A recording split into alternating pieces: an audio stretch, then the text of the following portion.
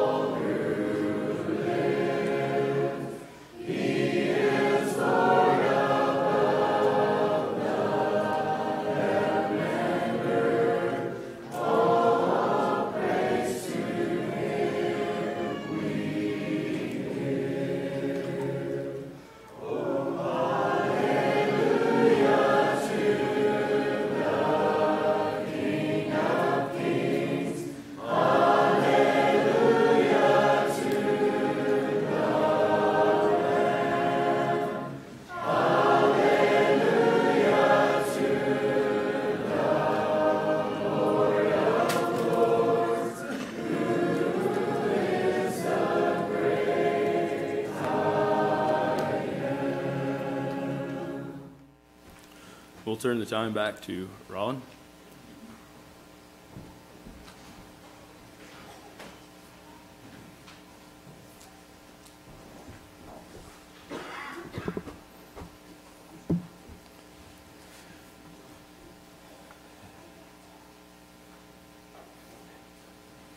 Interesting, I got a, I got a thing on my phone, it was a verse, and I thought I'd share it with you. But it's, it's the verse in 1 Corinthians. It says, So whatever you do, do it all for the glory of God. And I thought that was very fitting as we think about stewardship, as we think about money. What am I doing with what God has given me? Do everything you do to the glory of God. God cares, He really does care about our finances. Um, I think some people get the idea that he placed me here, and He does want me to glorify Him with my life. But you know what? What I do with my money is my issue. No, God cares. God really does care. okay, we'd like to move into the this next step here, um, thinking about um, thinking about budgets, and this session gets a little more intense, should I say? So. Um, hopefully you can follow along and I can make it clear to you and that you can leave from here knowing a little bit more and hopefully not being more confused. So, um, and it's like I, I've said in the past, each family is unique, and, and what works for one family is not going to work for another family. What worked for one individual is not going to work for another the other individual. So, you know, we all have to kind of work through that. So as we think about this next step on page 29 there, um, record all income, expenses, and giving and savings. And this is where we get into the actual uh, track or project as we think about projected budgets. Um, Identify what is coming in and from where, what is going out to where, and then keeping a running balance in each category. Some, some things that, we'll be talking about here is number one, allocation. And we, you know, we, we talked a little bit about that in the last session where you were recording in the bottom in them categories, you were totaling up the different categories. Um, in other words, and you think about allocation, you know, you're, you're taking a percentage of your income and you are allocating it to each category. To allocate income, multiply by the category percentage. At income, subtract expenses to keep an up-to-date balance. Identify large upcoming expenses and build up the balance. Um, and so as we think about that, as we think about doing a budget, one of the first things I'd like to talk about here, uh, just, and if you go to page 31, there again on page 30, you have an Amos and Mandy story. Um, and I'll let you, I'm not going to read into that there. Um, just the picture there kind of gives me an idea of what he was talking about. We talked a little bit about last night about buying a Coke and a Snickers, you know, three times a week and how that adds up. And I think that was kind of their little issue they were having. They're spending money on things that he probably could have done without. But we'll, um, that is something, like I said, that can wreak havoc on a budget too if you start looking at some of them things. But thinking about the envelope system there on page 31, how many of you have used the actual budget or the, the envelope system? Okay, so we have a few that, that are familiar with that. And you know, there's, there's a lot of questions about the envelope system. Um, but just basically, right there you have it. Cash your paycheck. Divide the cash into each envelope by percentage. Spend cash by category. Balance for each category is amount of cash in envelope. No cash means no spending. And so, as you think about that, I mean, just a real, in a nutshell, you know, if you have, whether you have an envelope or whether, I've heard some guys use bank bags for each category and write, write it on there, maybe, and then maybe keep a piece of paper or a note card in that in that bank bag showing your balance, what you're using, and then you, you know you keep a running balance for each envelope um, as the category. But there, you know, as you think about that that envelope system, it's a it's a great thing. The only the only downside is if you're cashing a check and you're keeping a month's supply of income in bank bags, that can I don't know if that can be a, it could be a dangerous situation or, you know, so th- there's some things you need to reckon with when it comes to an envelope system. You know, and, and so it's, it's probably far easier to keep it on paper, but the envelope system kind of helps you understand maybe the budgeting better. Um, but, you know, as you think about an envelope, as you think about putting money in there for, say, household and food, you know that when you your wife goes to that, that envelope to, to take money out to go buy groceries and you know you get halfway through the month and you realize that the cash is gone. There is no money more money for groceries. So what are we going to do now? Well, you got to make you got to make two, one of two decisions. Either you're going to eat beans and bread the rest of the month, or you're going to go to another envelope and pull that money out and show it on the card that you subtracted money out of there and you're going to transfer it into the food and household so you have money to go buy groceries. Um, and so, therefore, thinking of an empty envelope, no cash means no spending.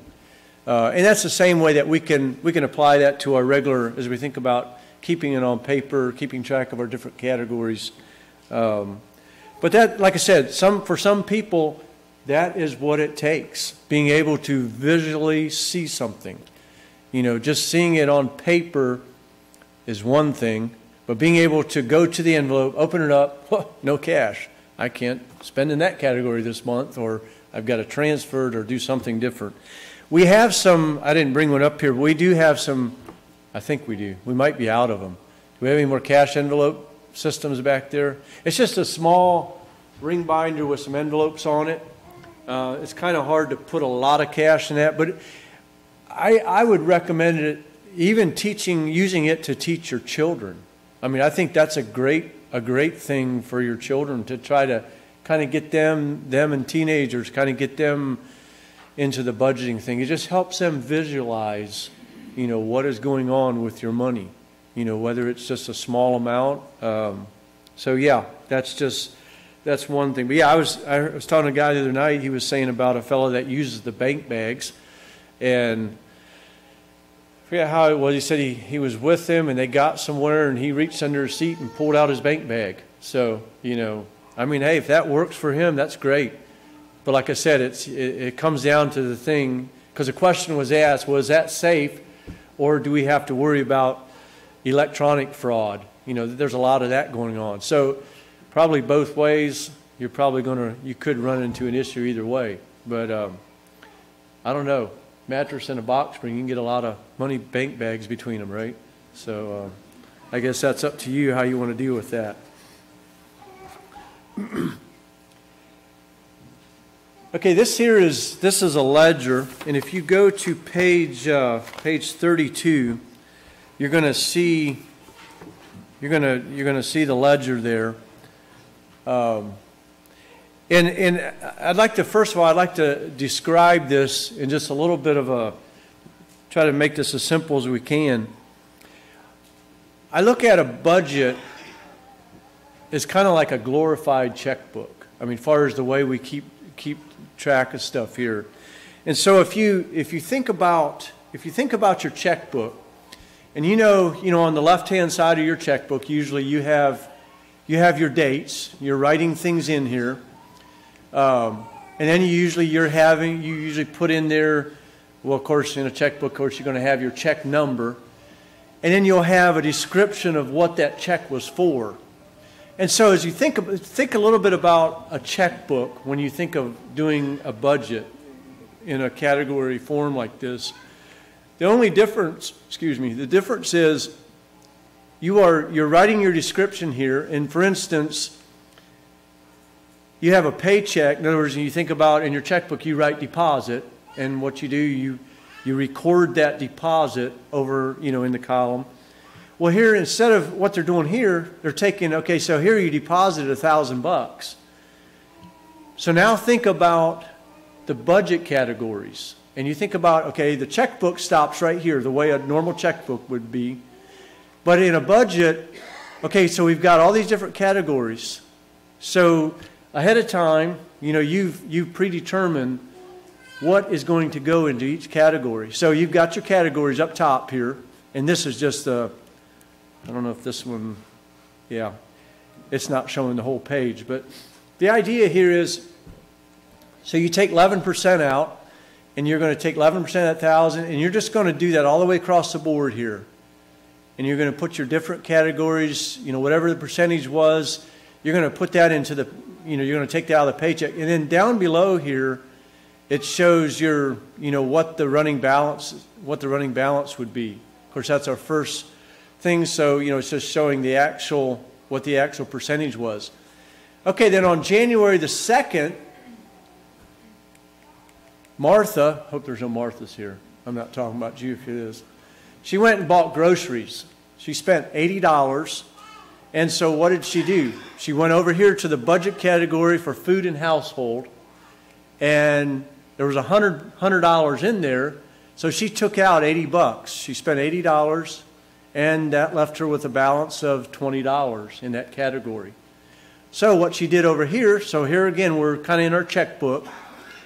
Thousand bucks. She subtracted eighty dollars. So now her checkbook total in other words, see this here, 100%. This is showing what total was in our in our budget. Um, yeah, our budget total. So now she's down to $920. The next day, Amos had been at work and he shot a nail through his shoe, missed his foot, thankfully, messed his shoes up, so he went and bought a new pair of boots. He must have went to the second-hand store because he didn't get new ones. But anyway, so he bought a pair of boots for 20 bucks. Um, so, anyways, he took that. Yeah, it's not showing on here, but it's over. Anyways, it's over here somewhere.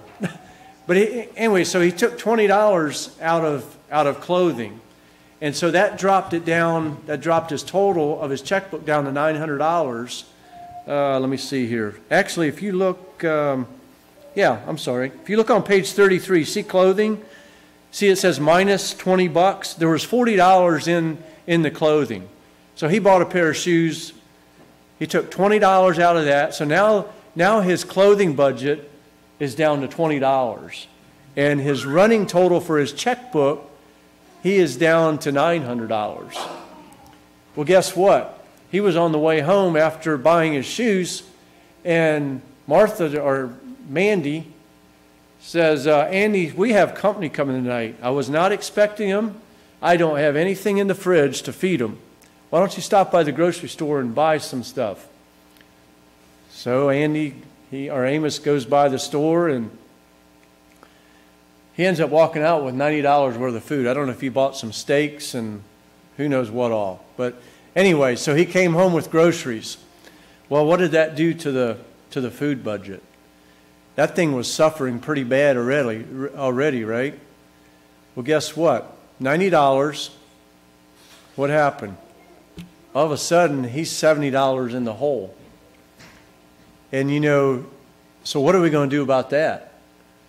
Are we going to eat beans and bread the rest of the month? That's, that's, that's 23 more days of beans and bread. We're not going to be eating much more. Well, what they did, and this is where we talk about being flexible and, and adjusting. So look at the, he, on the seventh, and I don't know why they waited four days to decide to do this, but they transferred $70. They went in their savings, which had 190 bucks. They took $70 out. They put it over into their food. Well, now they're back to zero. So they're still eating bed, beans and bread, right? So, anyways, and then savings, of course, taking $70, it drops that to 120 bucks. Well, thankfully, on the 9th, he got a paycheck. And so he took that paycheck and they just divided that. If you look in your book, you can see how they divided that out all the way across the column there. Um, on 1 9, in the white there, he, they added all that back in. And then in the shaded area right below it, is where they, they went ahead and redone their balances for each category. In other words, there again, on this, on this left hand side, we're kind of like our checkbook. There was a thousand bucks in there. They weren't broke. Some of their categories were suffering. But he'd added a thousand bucks. There was $810 in there, and so now they're up to $1,810 in their checkbook. And then adding to all their categories. So their categories are starting to look pretty good again. You know, they're kind of coming up a little bit. Well, guess what? Then he realized his rent was due. So, you know what? Well, we got $500 rent. So, over here, category of housing, they had $620 in there, and he took 500 wrote a $500 check. Now he's down to $120, and of course, the balance in the checkbook is down to 1310. And so you can see, you can kind of see how that all works there. You know, the way they, you have your checkbook, but you have your categories across, across the columns there. And of course, you get to the bottom, and notice you have alms fund. Uh, there was $220 in there. They wrote a check to alms fund. Now it's 20. And of course, now you head down to the end of the page, and so you go ahead and you know you just transfer all them things into that blue into the blue column, and just kind of just kind of re revision a little bit, go over this. Uh, your budget category up at the top there, your budget category percentage uh, from your budget, and then just showing your balance carryover. Uh, and that's where that carryover actually would be like when we get to the bottom here, when you go to the next page, and, and in, in that ring binder, that is where when you flip the page, you're, you've filled one whole page up. You flip the page, you would be carrying it over into that top where it says carryover. You would just be carrying this ending balance to that next page in the carryover, and you then, then you continue down through that, that page. Um, kind of what I talked about, he's allocating his paychecks down through there. Um, and then also the current balance he is keeping there in, in that row there. Just kind of what we talked about, where they took the 20 bucks out of groceries, updated both balances. Um, There again, subtracted expenses. Notice, you know, we had the minus 70, and then negative balances are not allowed. And then you just have to ask the question where is that money going to come from? Well, they had to do a transfer, subtracted it, and added it to the income and food and house, updated the, the balances. Uh, there again, paycheck allocation all across the, across the page there. Updated the balances, uh, and then, like I said, the ending balance there. and then after verifying balances, transfer them to the next page. And so, in other words, one way to check yourself on this if your balance coming down this way is $1,090, if your figures are right across the bottom of the page there on page 32 and 33, them balances, if you add all them, all them different categories, what is left over in them categories, if you add all them up across them two pages, they should equal 1,090 also. So you're kind of, it's kind of like double checking yourself there. And if there's an issue, if it don't quite work, something don't match, well, you, there's a mistake. You need to go find it. Um, or you can just keep going on, right? And then have issues later on. Yeah, I would double check it. this here is just showing, this is showing page uh, 34, 34 and 35, kind of in a smaller, just kind of the whole thing on one page. But just giving, there again, you can just kind of see the whole thing uh, but notice one thing I want to point out um, on page on page 34 there. Look down through there. Go down to um, go down to January the 15th. And, and what I want to point out, we talked about reoccurring costs. We talked about reoccurring costs and how they will get you if you're not careful. Notice what happened. 15th, 16th, 17th, 18th, and 19th. He was stopping by Casey's every day. This must have been a number of years ago because he was only paying three bucks. So things have changed a little bit. But the idea is notice how them things can add up. And notice if you go over to uh, where do you take them out of? Food and household. Look what it, it, it, a wreck, it, them, them little things, them little expenses can wreck a budget real quick. You know, and if Mandy's looking at that, she's probably wondering, why in the world? Why didn't you just tell me to put an extra granola ball in or something, you know, or anyways. But so them are, them are just some things to keep, to, to think about. Um, they can, them reoccurring costs that you think are just very minimal, they can get you real quick. And that's why, you know, Amos was talking about, you know, if nothing else, just keep a track, keep track of your expenses in a month or, or three months of time and, and see some of them little incidental costs we think that we're spending, you know, oh, what's this? You know, that it wasn't much. And then you realize you did it 20 times during them three months and think of and look at what the actual total was. Some key points to remember about the budget ledger. It only works if it is kept consistently and completely. It allows a faithful steward to account for his use of resources. And I mentioned this already, but the high cost of small repeated expenses, and then also the idea of transfers to savings accounts. I forgot to mention that one there on page uh, 34 and 36. Uh, notice where they they borrowed from one category and put it in the other. And someone asked me the question during the break. They were saying, you know, when, what do you do with the money that you are saving for taxes? What should you do with that? Should you just leave it in that category? I, I, and I suggested, and it may vary from person to person, but I would recommend having a savings account that you're dumping these these extra these when these funds are building up, dump them in a savings account, something that you know Eh, and then let me add to that dump them in a savings account and then keep, keep a running balance of your savings account and show what money is in there and what that money is for. Say, in other words, if you're saving up for property tax and you're putting in your savings, keep a category in your savings, a subcategory that says 2023 property tax, $500, and every time you add to it, add to that balance and, and write it down. Don't just think about it. Think, don't just think, I'm going to remember that, because if you're old like me, you're going to forget. I got a good memory, it's just very short. But the idea is you kind of keep a running balance in your savings of them, of them uh, balances from other categories that you're saving that you know are coming, them expected expenses. And I think that will help you know what's going on. Write it down. Keep a, keep a running balance of them.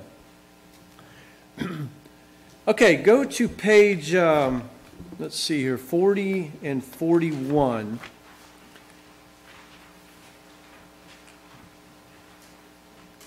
And what I'm going to do, if you just want to take a little bit of time and just go down through in the shaded spots, I'm going to give you just a little bit of time to do this. Go ahead and allocate or just write the figures in there. And kind of, kind of, and like I said, the, the cheater page, you know, is, is uh, back there. Um, yeah, back there on page 32. But just kind of work down through that once. I'll, I'll give you just a little bit of time to do that. And if you have any questions, raise your hand and I'll, I'll come, come at, try to answer it for you. but all you're doing is you're just using the figures they were using and you're just writing them down. In the red there it shows uh, groceries, $80. You put $80, subtract it from 1000 uh, We just work some of them out once.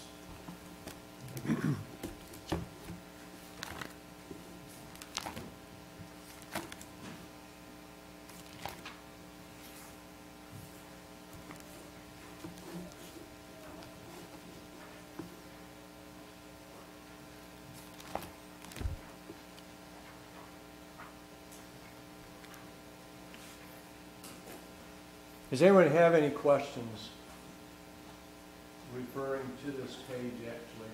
Or you not quite understand what needs to be done there? Just, just notice, and it's not, it's not oriented on number seven, January seven. When you transfer, you don't val, you don't subtract that from your balance in that total column. Out, reallocate. Right, yeah, yep.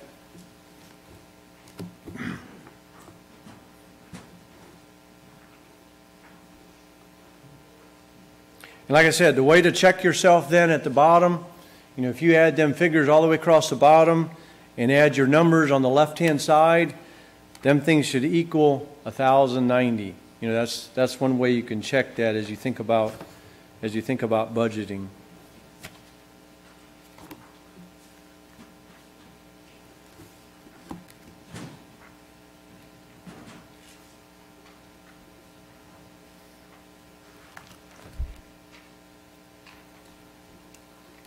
Anybody else have something that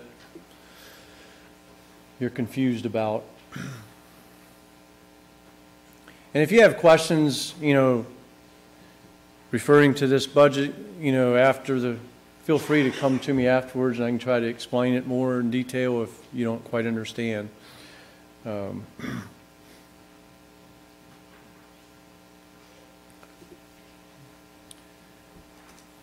At what point should they up their food budget and uh, decrease their savings? Okay, someone else kind of asked that same question earlier, maybe in reference to another category. But I, I guess my thing is, you know, if you get to the end of the month and, and you're just, or end of three months, and you're just constantly running short, I think, I think, you know, you need to, yeah, that's where you need to just start adjusting some things and realizing that, you know, hey, this ain't working, let's, let's adjust it and try. It's, it's kind of like we've said before, you know, a budget is not something that is permanent. It's something that needs to be flexible. It's something that we need to adjust to. It's, it's fluid. You know, it's kind of like a river flowing through a riverbank. You know, there's times where that bank's probably going to change at times, you know, as far as where it's at. It's, it's the same way with the budget. We're going to have to adjust them according to the number of children we have, you know, in just different circumstances. Yeah. Okay, let's move on here. Um, how does current income compare with current outgo? And we talked, had this a little earlier. Another thing to think about, uh, create a practical record-keeping system. As you think about keeping track of your stuff, put all receipts and paycheck stubs in a specific container or file. Sit down periodically and enter the income and expenses. And you know that and that's the thing, as you think about a budget, remember I said it takes discipline and it takes consistency. And, and it's good if you can do it, whether it's the last of the month, you know, for that previous month, or, you know, but try to have, you know, you think about if you have an AC at home and you have a filter you need to change. You know, it's good to have a systematic way of changing that. And you, you know the every, every month on the 10th or every second, whatever, you know, it, you have, you kind of have something in place that you just, it's just automatic. And that's what it's going to take on a budget to be consistent. So at the end of the month, do a budget checkup with your spouse, budget date. Someone asked about that. I said, take her out for coffee once a month. That's, that's the least you can do. And go sit down and talk about it, uh, go over it. Transfer funds to savings accounts on a regular monthly basis. We talked about that. Um, so, yeah, as you think about being diligent to know the state of your flocks and look well to your herds. You know, God blesses us. How well do I know what He has given me and what am I doing with that? And, and think of d- being diligent. You're being careful. You're being faithful to what God has given you. The steward is careful and faithful in caring for God's resources that been, have been given into his hand. Um, and I, and I like to think of this as this is the idea of not only preserving what God has given us, but what am I doing to even improve on what He has given me? Sometimes we like to just do the bare minimum.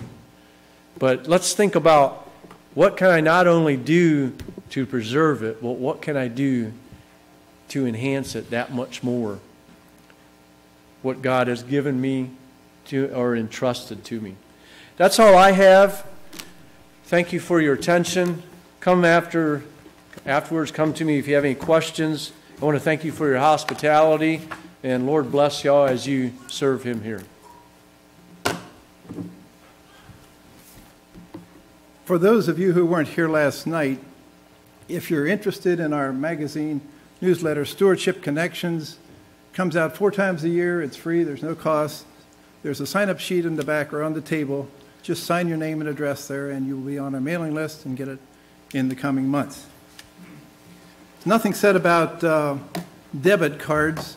Debit cards are a valuable thing, better than credit cards, especially for young families starting out. I would recommend using a debit card rather than a credit card. A few ideas here, closing this thing out. Uh, this is a picture of kind of a typical American male in his lifetime, his earning and expenses. Start out about age 10 there. The, uh, the top line is your income, the bottom line is the expenses, and that dark blue area is what we call disposable income or discretionary income. It's money that's left over that you can do with what you want. Rollins said there's three things we can do with our money. What are they? Save it? What else? Give it or spend it? Yeah. So at age 10, you're uh, mowing yard for the neighbor, get some uh, cash for that, living at home, no expenses. It's all money in hand. About age 17 and 18, you get a full-time job and your income goes up and still living at home. There's, again, that, that blue area gets pretty wide there, unless, of course, dad is keeping the money at that point, which is probably a good idea, at least the bulk of it, or at least some of it because there's a lot of money wasted in those early years. There's a lot of shiny objects out there for young people, especially young fellows. You know, the hunting trips, the bows, all the, the sporting stuff. A lot of money can be spent and wasted in those early years if it's available. But then come about 21, 22, you think about getting married, and then uh, you want to buy a house, and you go to AF for a loan. And the first question is, we ask is, do you have any money to put down? Well, we've spent pretty lavishly there in our youth and uh, don't have, really have any money to put down. No, I don't have money to put down, but I can borrow it from dad. The question is not, can you get it? The question is, do you have it? How much money do you have available to put on a house? And if the answer is, well, I don't have any, but I'm going to be changing my spending habits from now on since I'm married, uh, no, sorry, you will not get a loan from AF, probably not from a bank either. We may allow you to, to borrow 10% of it, but, uh, and then we'll ask for a cosigner. But if I see an application coming in, a young fellow, 23, 24, wants to buy a $200,000 house, and he's managed to save $40,000 for the down payment, I'm impressed because I don't see that very often. He will almost certainly get a loan. So, young fellows, that early stage in life of the giving, saving, and spending, what should perhaps be the focus at that stage in life? Saving, yeah. Well, of course, then you get married, your uh, wages go up, but your expenses go up, the children come along, and in those you know, 30 to 50 range there, raising a family, paying the mortgage, that discretionary, the money left over gets a little thin. But come about 55 and 60, the children are gone, the mortgage is paid, and you're still drawing maybe at your peak of your earning power at that point. That blue area gets a little fatter again. In fact, it gets pretty fat. At that stage, maybe you should start thinking about focusing on what? Giving. At that point, we could up our giving, yes. So that's just uh, and one of the things that happens in the older age there is that we have this extra money now, and so we can spend it on ourselves because on stuff that I've always wanted but didn't couldn't afford it, but now I can afford it, and so I'm going to go ahead and you know do that extra stuff that I always wanted to do. Be a little careful there. You're setting an example for the younger people coming after you. Self-employed people, this includes subcontractors, farmers. How do you handle your finances? Well, one thing you sh definitely should have is two checking accounts, one for a personal account, one for the business account. Pay yourself out of the business every month to your personal account. When I was farming, I had a, we had a personal account my wife took care of. I had a farm account, I took care of that. And every month we would transfer X number of dollars to the personal account and Sarah took care of that. This actually helps you identify how much your business is actually making. You're not, your business is not making a profit until you have paid your taxes, taken out depreciation, paid all your employees, paid yourself. At that point, then, what's left is profit. What you're paying yourself is not profit, that is a business expense. It's like you got to treat it like you're paying anyone else. You pay yourself. And it's only after you've paid yourself that you're showing a profit. For those with variable income, uh, produce growers, uh, others who have times of high income and then low income, how do you handle that? Well, we suggest making a kind of a comfortable budget. How much does it actually take to live? Come up with those numbers and then all your income, whether it's from the produce or the chickens or whatever, to put that into a separate account. Just let that there, but every month draw out the same amount throughout the year. This income is going to be going up and down all the time here. Keep it steady on, the, on your personal level. Every month you transfer three, four thousand dollars, whatever it takes to live. Keep this steady and take it out of this account over here. A monthly transfer from saving to checking to cover the family budget. Deposit all the income into a savings and make that monthly transfer. Some of these benchmarks were mentioned already. Housing shouldn't be more than 33% of your income. Do you know what percentage of income you're paying on housing? This includes not just the mortgage, but the mortgage, the taxes, insurance, and even the maintenance. If you're making 4000 a month, your housing cost should not be more than 1200 a month, and that's on the high side. I'm, I'd much rather see it down in the 20, 25% range. You must have 20% down when you're buying a property or equity accordingly. and a maximum debt of, to income of four to one. If you're making $50,000, we don't want to see you have more than $200,000 in debt. So one app come in one time, and a guy was showing $30,000 of income, he wanted to buy a $300,000 farm. It wasn't going to work.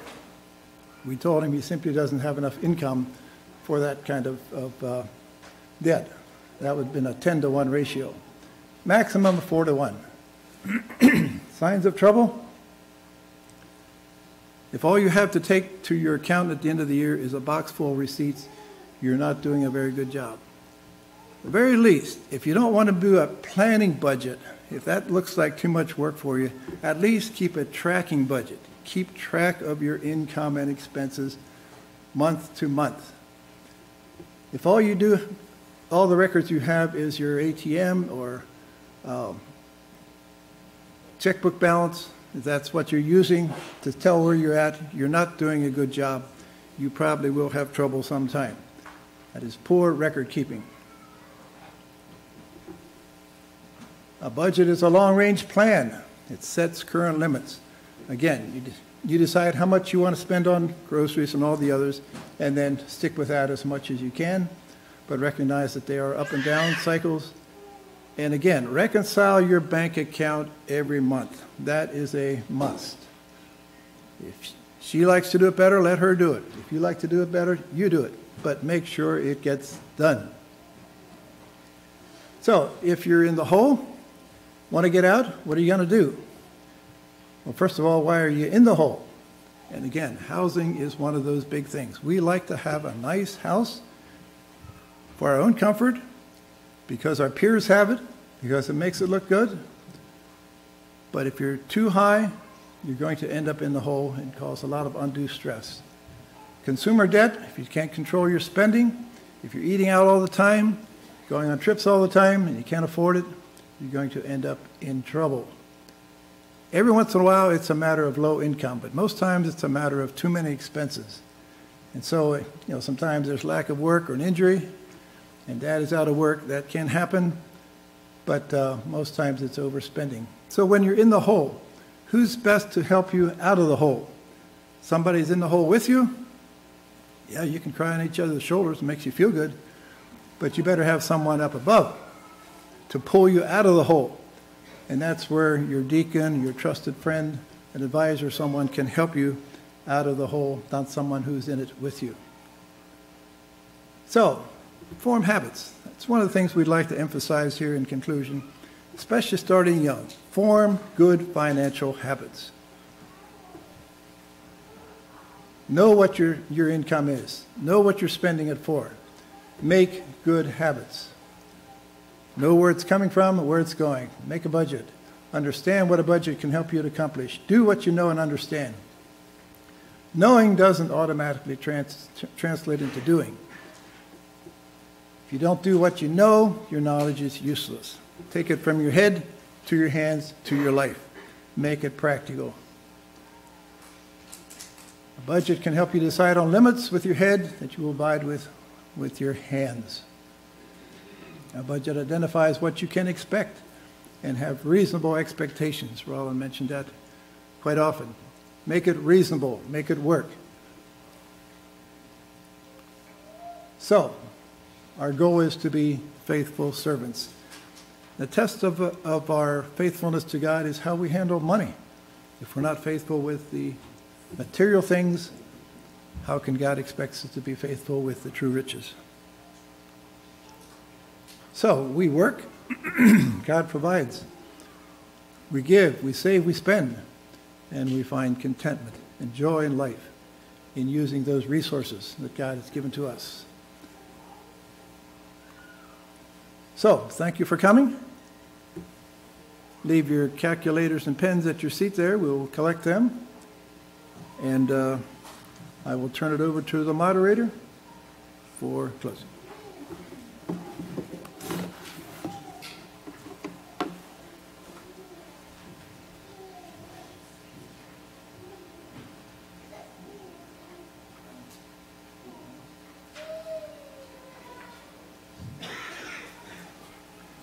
Are there any questions that someone would like to raise? We're up against our time here, and we're glad to take any questions if someone has something, but uh, probably better to wait till afterward, and we'll be glad to entertain questions on a one-to-one -one level. We don't want to hold you unduly.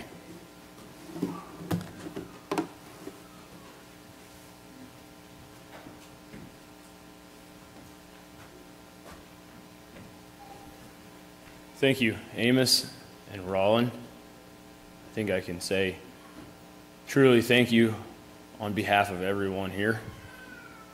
I know I've enjoyed it, and uh, as I've learned and listened to what they've presented, they've done their part, and it's only going to do me as much good as what I apply, as what you apply from here. So it's up to us to take it from there. So thank you very much for your time, for your resources in coming and uh, in doing that. In closing, uh, a couple of announcements. Um, there is flash drives available if you would like to have a recording of the sessions. Um, there's a sign up for, sheet for that. Um, it's going to be underneath the bulletin board that is located just before you come up the steps into the auditorium on the east side there. Um, if you can sign your name there, if you would like, as soon as you can after the service, so that way we can get that taken care of. Um, they're doing those at, I think, five dollars a piece to cover the cost for getting that done and getting those purchased. Um, it is also both yesterday and today is on the YouTube live stream as well. Um, if you want to go back and re-watch, listen to portions of it or all of it, um, if you look up Sunnyside Mennonite Kalona, you can find that on there. Um, as far as in leaving, if you would not mind um, checking around you, picking up whatever cups, trash, etc. that there is, and leaving that in the trash cans in the back as you exit, that would be appreciated. Um, and then I've been asked to make an announcement that um, most of you would know the store in town, the best of Iowa, is a bakery here. A couple of the ladies from church work there, and they were going to have a celebration thing today. And because of the storm doing some damage to their personal property, they've postponed their celebration thing, but they had made a lot of bread in preparation for that. And that is going to get put on a table in the back. They would like that to be taken. And if you feel led, you may leave a donation for that. Um, I think they're going to put a container on the table there. So, um, Elwin, am I missing anything? I think that's everything. Why don't we stand for a closing prayer? thank you, Father God, for this weekend. We thank you for godly insight into our finances and how we can budget, how we can honor you with how we handle our finances. We ask that you would go with Amos and Rollin from here as they travel home. Yet today, I believe you would watch over them and keep them safe. Pray that you would bless them in the work that they do and the time that they've spent preparing and presenting.